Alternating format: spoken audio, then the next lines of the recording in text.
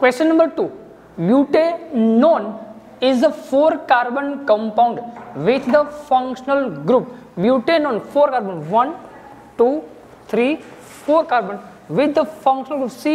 double bond O तो यहां पर जो C double bond O functional group है वो कीटोन को रिप्रेजेंट करता है मिस यहाँ पर जो ब्यूटेनोन है उसमें जो फंक्शनल ग्रुप प्रेजेंट है वो एक ketone miss option C is the right answer